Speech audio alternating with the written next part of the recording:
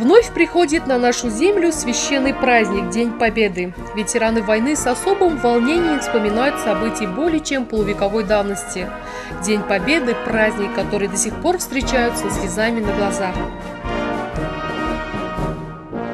Каждым годом редеют ряды ветеранов. Наш долг – чтить память ушедших и окружить заботой и вниманием тех, кто рядом с нами сегодня.